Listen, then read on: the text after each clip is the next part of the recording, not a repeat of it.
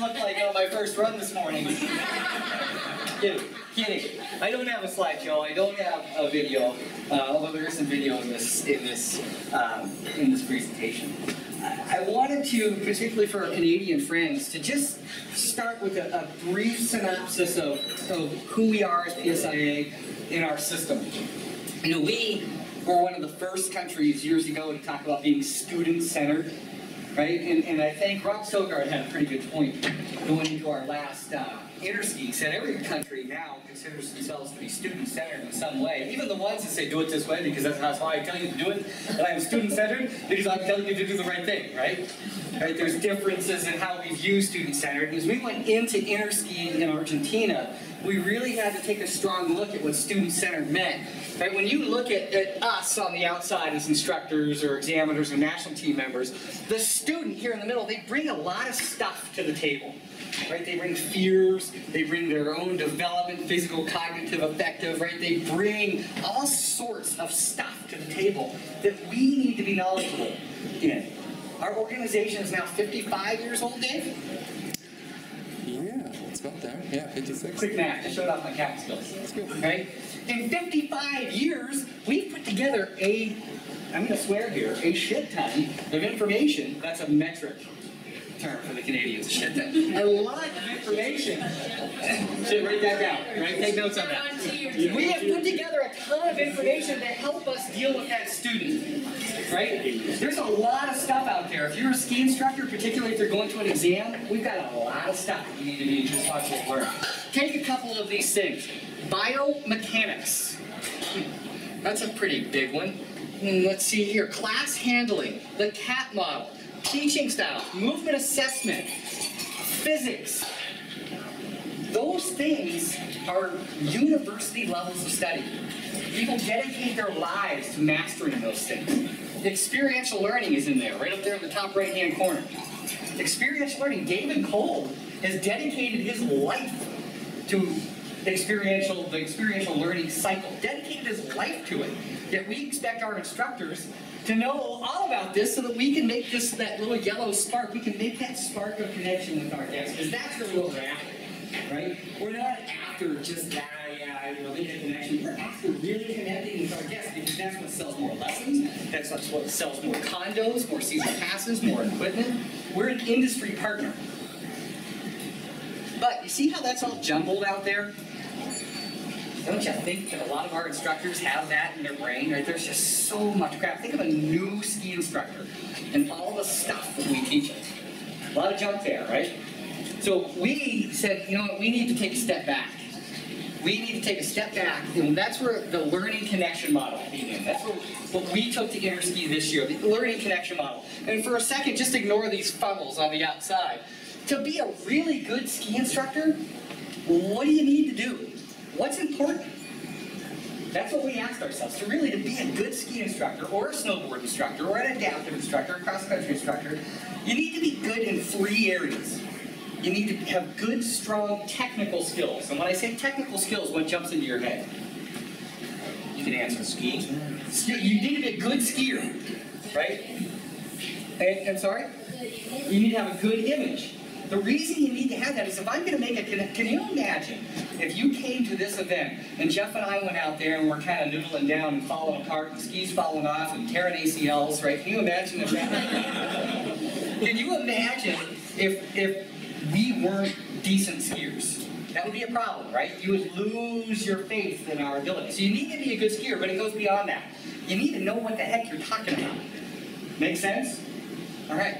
Well, you need to have good people skills. Jeff's got pretty darn good people skills, doesn't he? Yeah. Right? You need, we need to be able to connect with a broad range of people. Agreed? Does anybody have an instructor in their locker room who is a tremendous skier, knows a ton about teaching, but doesn't get any private lessons, requests private lessons? Do you have that person in your locker room? Yeah, yeah. What do you suppose that person's missing? Right? They're missing this people skills triangle. I know that's small to, read for the guys in the back, the folks in the back. But we need to be able to connect with a broad range of people so that we can make a lot of people happy and engage them on a one-on-one personal basis.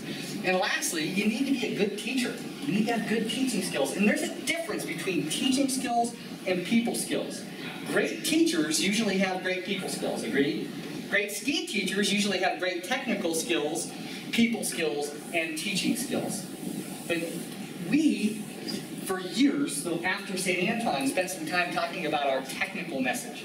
Because we went into St. Anton, this was the last Interski, talking about how uh, diversity, right? When, when in America, people show up to our lessons on a broad range of equipment with a broad range of uh, motivations. Whether they want to be big mountain, hiking car, car, race, just keep up with the family. You, see where I'm going with this. Uh, and just a, a quick story. When we were in St. Anton, I had a pair of, they were like 115 underfoot, because we went with these big skis, right? It, it, underfoot, no shade, fully rocked skis. And um, my, the country that I followed as a team member was Germany. Really cool country. This guy named Marcus, who's I, I got to know him quite well. And uh, I, it was my day to go out with the Germans, but I wasn't sure if I was going to have to teach because we did our presentation on the same day as the Germans. So I had my stuff on, ready to do our diversity presentation. And then got cut loose, so I got to go catch up with the Germans. I catch up with Marcus, and he's talking about the perfect turn, right? Perfect skiing, right?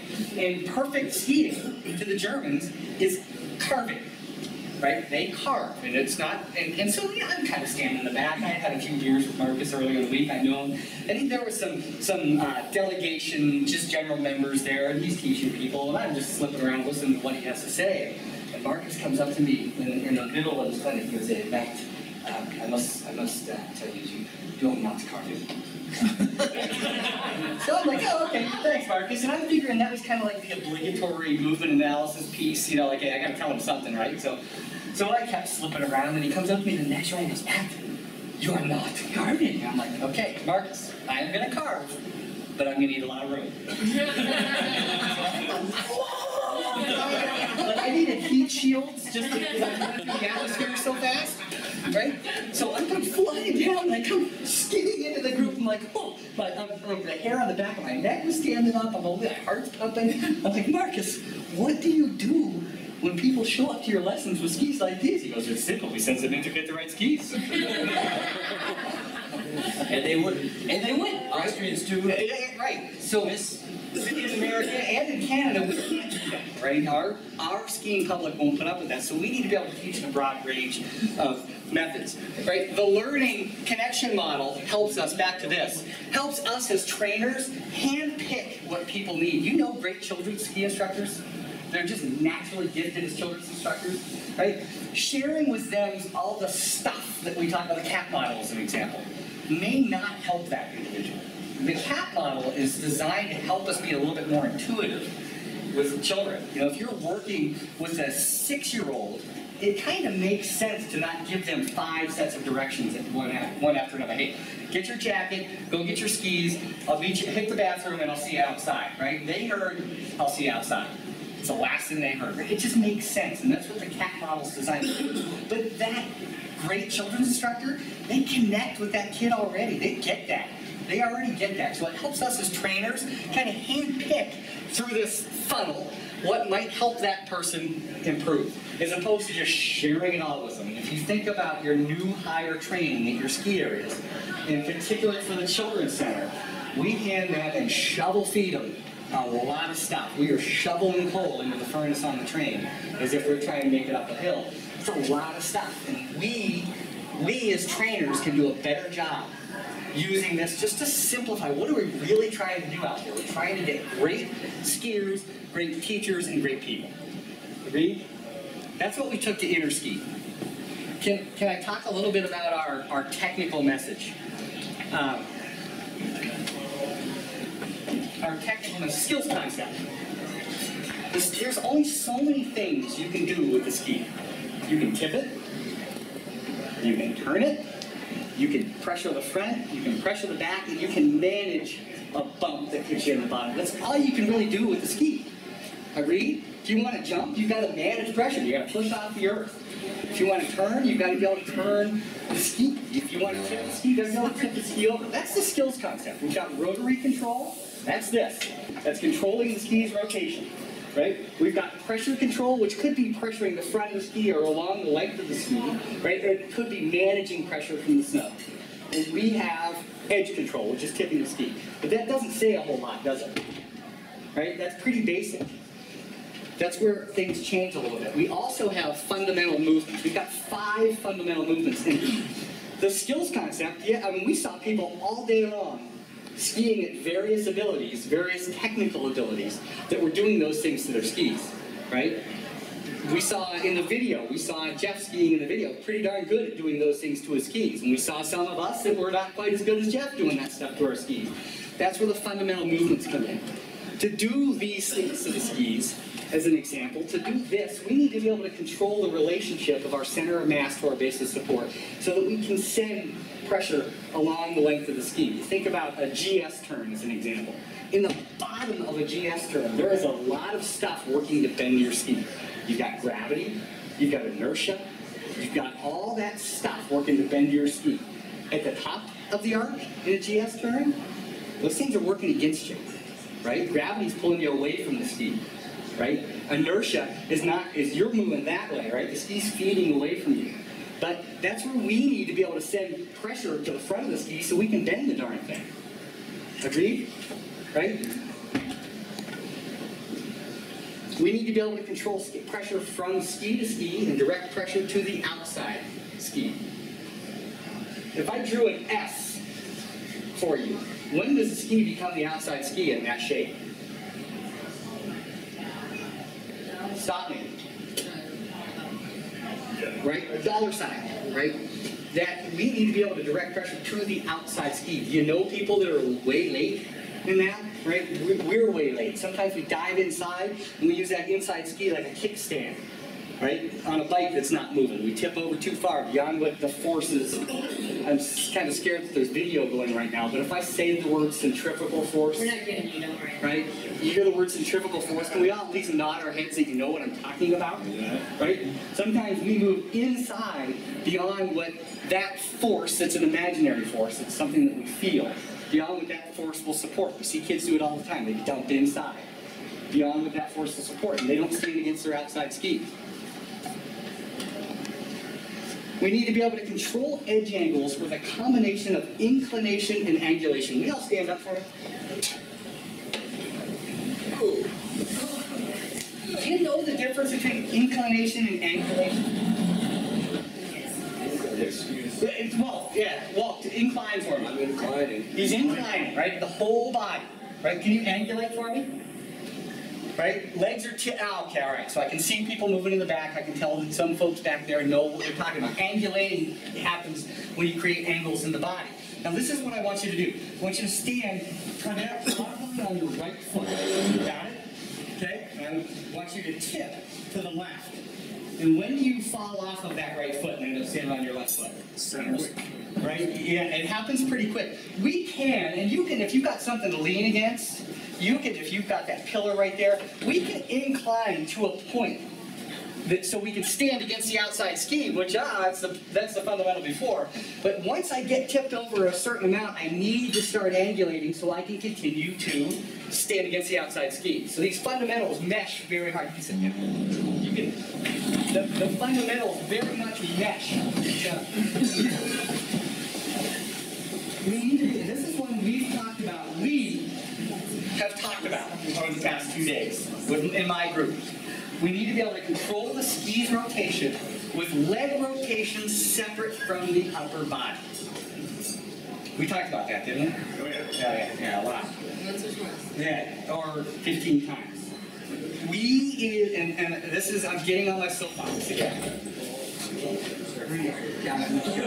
Right? We, this, us, we are okay at turning the legs. We're just not okay at turning the legs separate from the upper body. I can turn my legs, my legs are turning, right? Is it turning separate from my upper body? And that's that's my soapbox right there. We get really stuck in just not being disciplined here, right?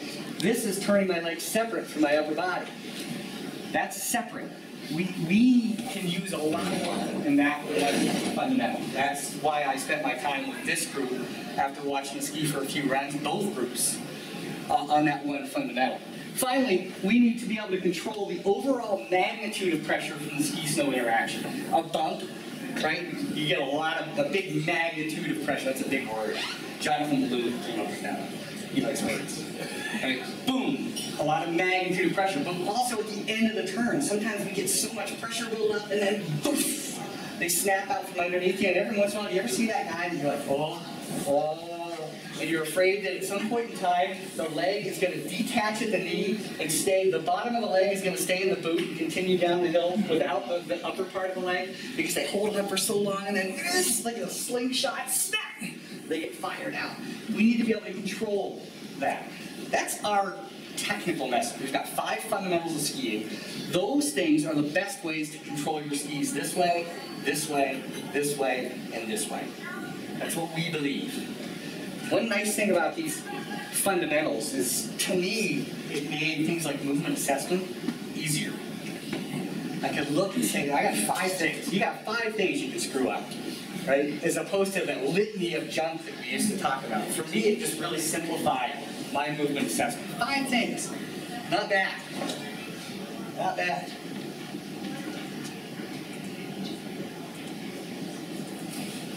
Bob, can you go back to that slide for a second? Yep. Maybe. This is Q and A.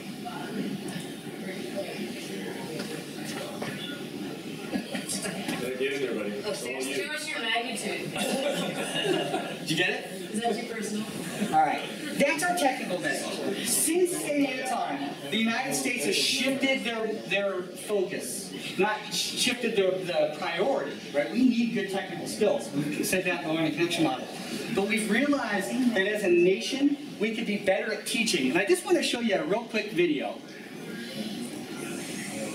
Watch this video and, and see if, if some of this stuff sounds familiar.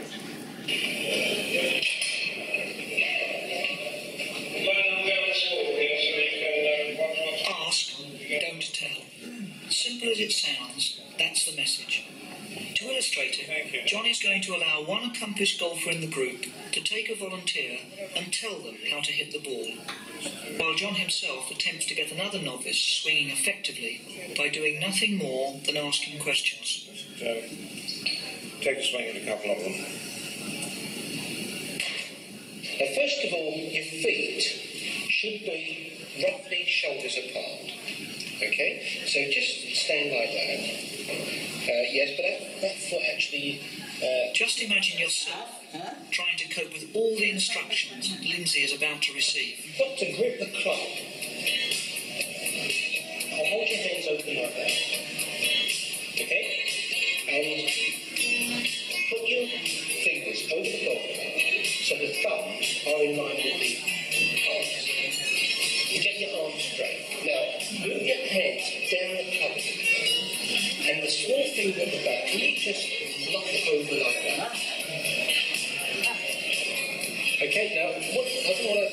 That finger's supposed to be in line with, with your arm. So put that over like that.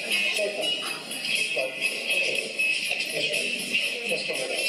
So in line. Okay? Now, what I'd like you to do is just swing at that ball. And then we'll take it from there. Go on, swing.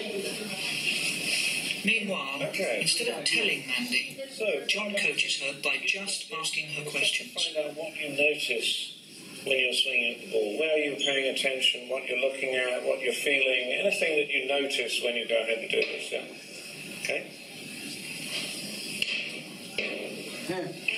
It's kind of how I golf. Wants to hit the ball. Okay. So you, you, More is concentrating on the ball. you're concentrating on seeing the ball. Yeah. Yeah. Okay. Weigh up for yourself the advantages and disadvantages of these contrasting coaching techniques.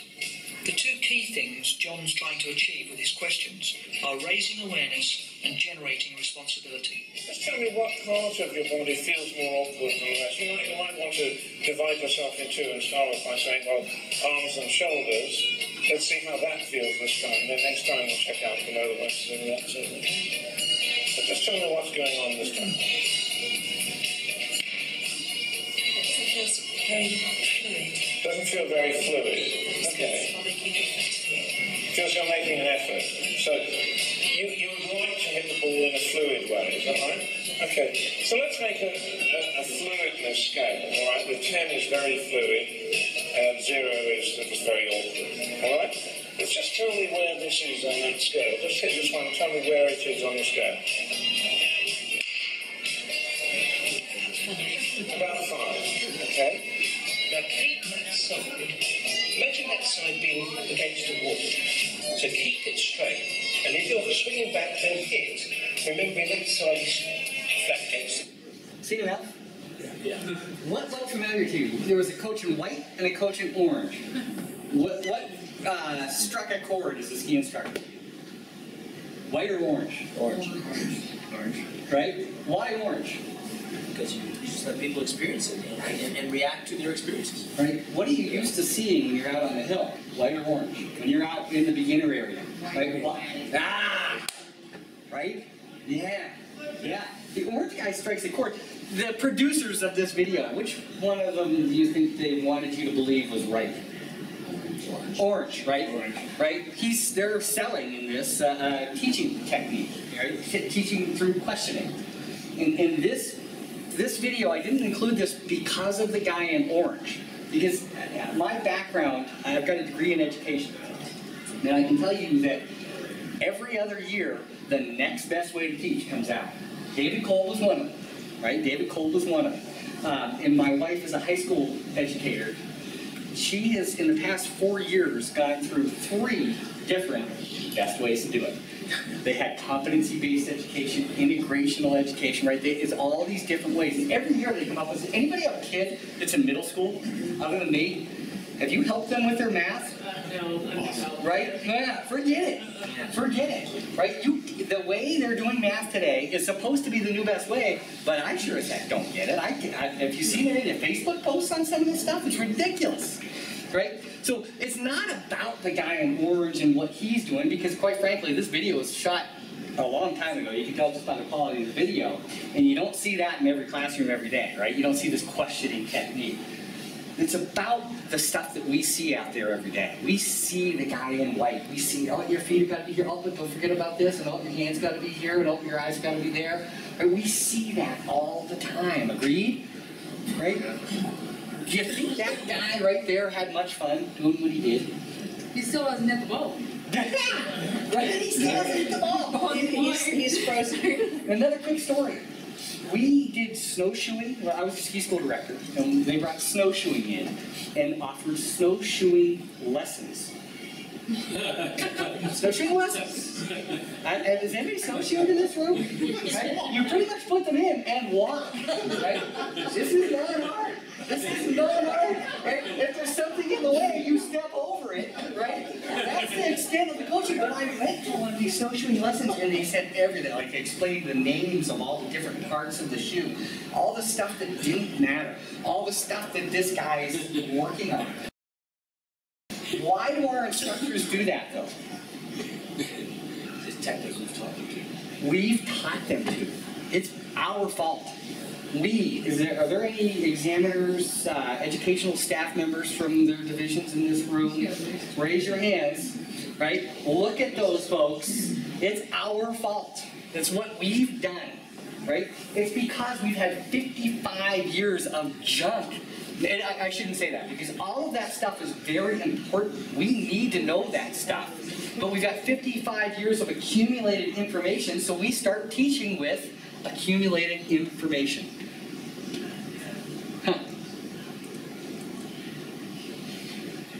Sorry? Let's start talking about how we teach and how we learn. Think about a child that learns to walk. Is there much uh, information given to the child that's learning to walk?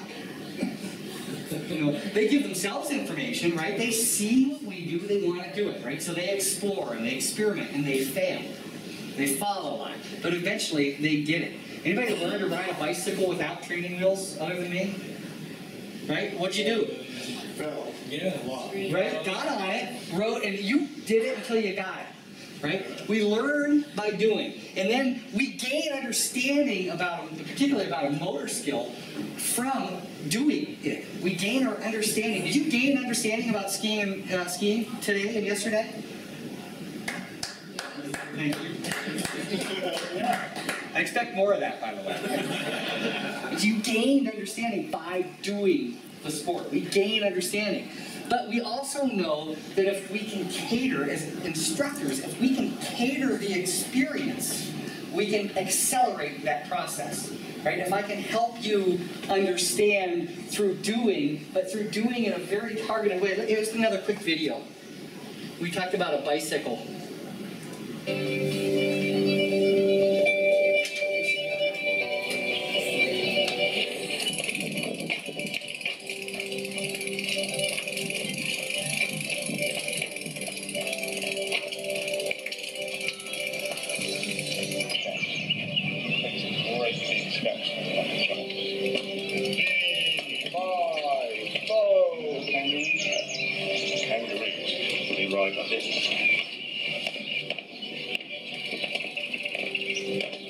Lovely, and your brakes.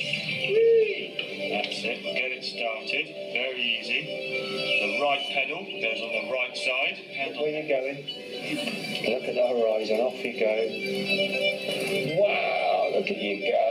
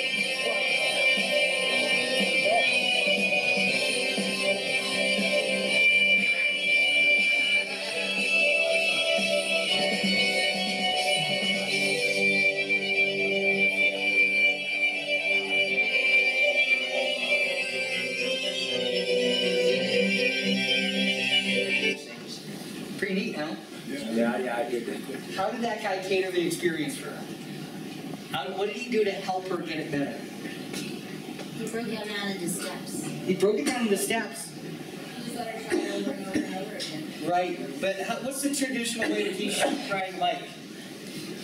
Training wheels. Training wheels, right? I, wish I had seen this, this video about six years ago. I can tell you that teaching my daughter to ride a bike did not look like that. There were tears, there was bike throwing, right? There was a lot of bad just. I taught her with training wheels. If you, when you turn a, the wheel on a bike with a training wheel, which way do you need to lean with training wheels? Right? You go outside, you don't go inside. The wrong way. You go the wrong way. You do the wrong things. You don't lean at all. So then you take the training wheels off and you're like, okay, well, listen, when you go, you're going to need to lean. Right? You sound like the guy in the white shirt. You need to lean. Well, I didn't need to do that before. Right? Then, okay, yeah, by the way, you need to push off. Well, I didn't need to do that before. None of the things you need to do to ride a bike, other than sit and hold this and, and do this with your legs, right, really applies. To, but this guy, brilliant, brilliant just, hey, let's take the pedals off, just so you can get used to gliding sitting on a bike and gliding, and then getting longer and longer strides. And I love the one pedal thing, right? Because that's one part of riding a bike that's hard. Once they get out with the pedals, my daughter wanted to put both feet on the pedals because that's what she did when I taught her how to do it. Right? And what happens? And that's when the bike throwing happens, by the way. They falling over, the bike throwing happens. But that's an example of how a catered experience. Was there a lot of, of technical mumbo jumbo? Was there a lot of talk from that? No, no. Very simple catering an experience so they can feel what it's like to do it, to succeed. Pretty cool, I thought. So let's talk about teaching skiing. Oh, sorry.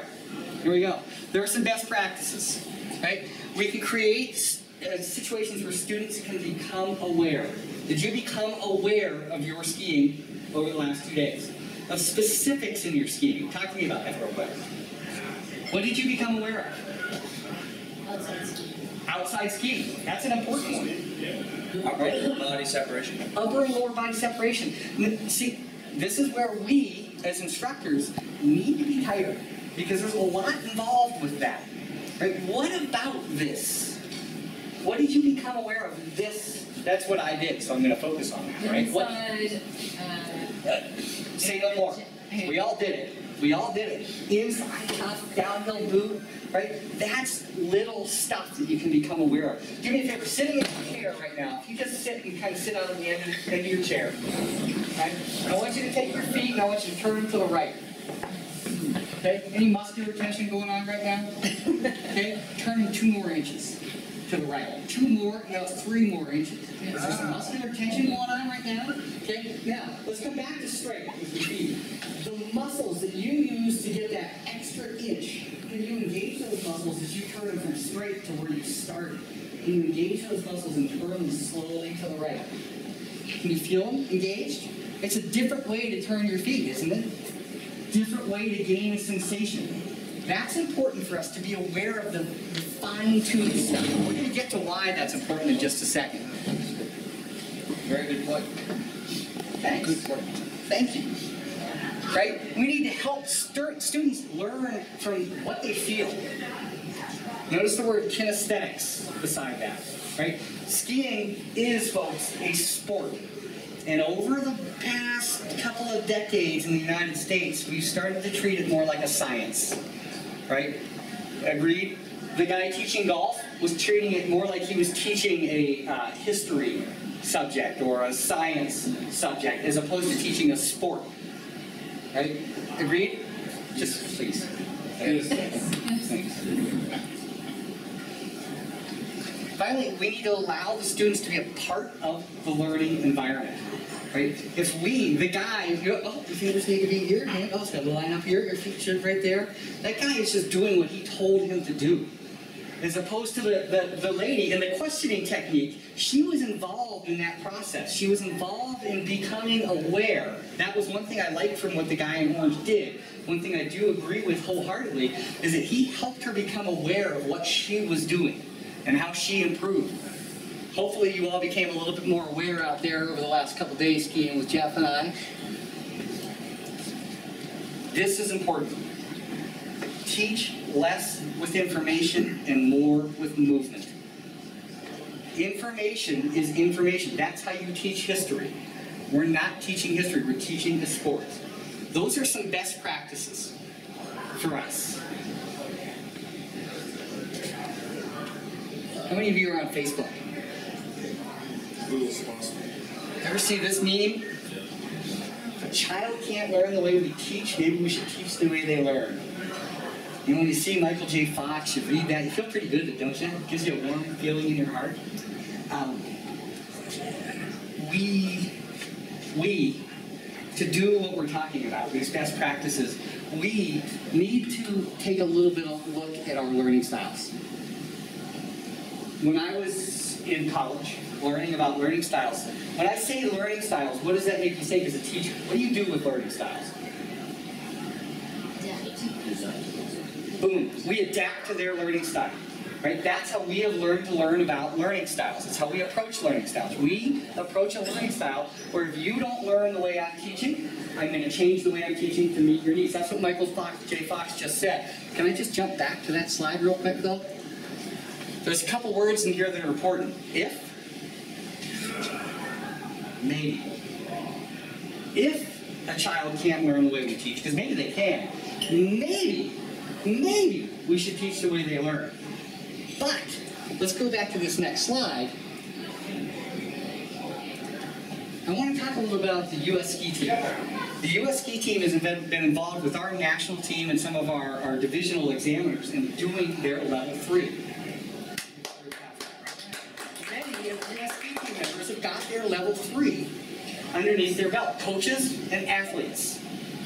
Um, when, when I was at a US, uh, USSA clinicians training, and Sasha Rearick, who is the U.S. men's ski team head coach, gave a presentation, and somebody in the back of the room said, Sasha, could you talk to me about the learning styles of the U.S. ski team athletes? What do you think he said?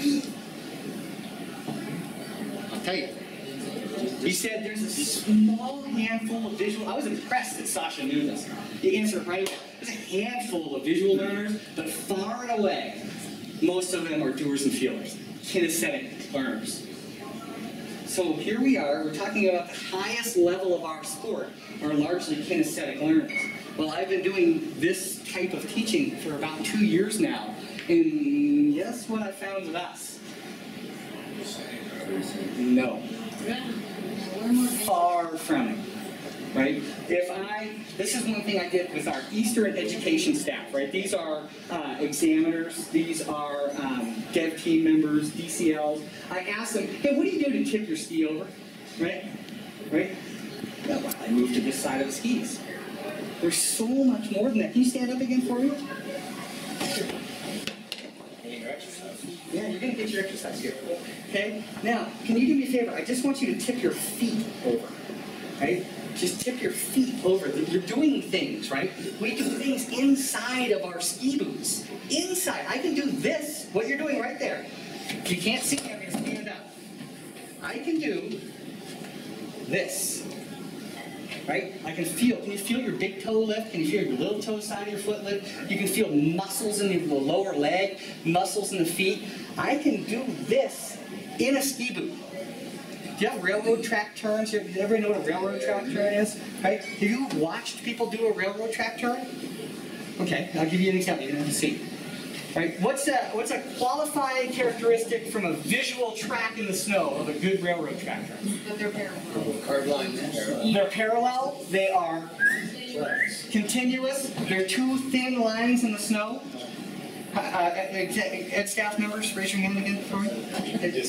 Right? I have seen thousands of times, and I know I'm going to see some heads rattle, people that come down trying to do a railroad track turn, right? Leave two completely smeared tracks in the snow, right? And there's not, you, it's hard to define where they turn because it's so smeared. They'll come to a stop and say, how was that? right? So we, is that's kinesthetic awareness. If you can't tell the basic difference between a slice a skid, right? That shows you a little bit about our kinesthetic awareness, particularly in the United States. And I think that that's come because of, know, you remember the early days of, how many you have been in this organization for more than 20 years? Do you remember the early days when a lot, there was just a lot of tasks? You did hop turns, you did speed turns, you did uh, switch swing hops, you just did a lot of stuff. But then somewhere along the line, our, our guests said, no, I'm not doing that, right? So then we started teaching very conceptually. Somewhere along the line, you heard the words as if a lot. I want you to ski as if. End that sentence. Light on your stomach, right? Uh, uh, rubber band attached to your waist to the, to the base lodge. As if you were in a tunnel, right? So you didn't rise up and bang head. We got very conceptual of how we taught. From that, think this had a lot to do with some of the online forums, like Epic Ski that's out there. We got more technical, right? We got more information based, and we started talking about. Does anybody know where the um, the the peroneus tertius muscle is? There's a lot. Your leg. It's in your leg. Right? It's in your leg. There are a lot of instructors that know a lot about muscles, bones, joints. I don't need to know that. I just need to know, hey, there's muscles in the front of my leg and I gotta flex them. Right? When you turn your feet and using, those are the muscles that you are using. I don't need to tell my student what the muscle is unless they really want to know. And even then, I'm gonna have to Google it. But we've got very information based, and that that that speaks to me a little bit. The highest level of skiing in the world, Ted Ligety, is not necessarily. He's a kinesthetic learner, but a lot of us aren't. There's a lot of us that are waiting for the answer, right? Versus where's uh, Jamie? Jamie all day long said, "Man, this is what I'm trying to do. I'm working. This is what I'm doing. I'm trying this. Can you look and tell me if I'm anywhere near close?" She's finding answers. We need more of that. That's kinesthetic awareness. That's beautiful. Love you, girl. Okay. Um, through that level three exam, by the way, let's talk a little bit about learning styles. The U.S. ski team, they go out there, it was Eric Lipton, Robin Barnes, Michael Rogan, and Dave Lyons. Lipton, like, he tells the story so I said, yeah, I'm like, listen, you need to do this, right? This, not this. And I can't remember who the skier was. Like, yeah, what, do- what, what about the skis? What are the skis like? Eric's like, look, do this, not this. But what about skis? What are the skis doing? Do this. Like he was speaking a different language where you just speak slower and louder, right? To get him to understand, right? Do this, not this. But they were so hung up on the kinesthetics that they had trouble doing that. But throughout the week-long process, they started thinking about skiing and learning about skiing in a different way. Has anybody noticed what's been going on with the U.S. ski team as of late? Anybody heard of a guy named Steven Nyman? Right? We are seeing a market rise from some of those guys, not the, the Teds and the Bodes, right? But from some of the folks behind them, you're seeing podiums and podiums and podiums to the point that Steven Nyman is talking about he wants to win the overall World Cup. He wants to be in the U.S. the American downhill. Right? That they accredit some of that to learning about skiing in a different way. We, as instructors, need to help our guests, our members of these organizations, think about skiing and learn about skiing in a different way. That's why today, from my group, right, yesterday from my group, we based it largely in sensations, largely in what you feel, little targets, little movement cues that you feel.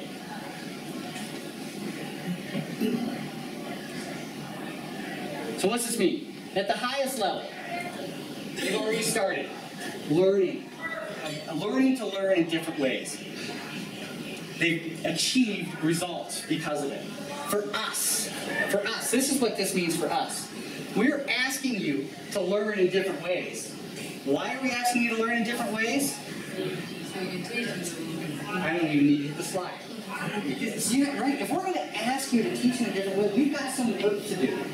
We need to become more aware ourselves, more aware of the fine-tuned little things. I shared with you the fine-tuned little things that I feel. They might not be the fine-tuned little things that you feel.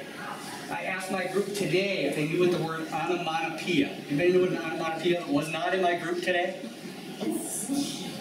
Whoosh. Give me another example. Woof. Give me another one. Bang. Beep, bang, kapow. An onomatopoeia is a word that describes a sound, right? In writing in particular, because I can go, you know what that sound is? How do I write that? Right? P K. I don't know how to write that, so I use kapow or bang. There is not a word that describes sensations.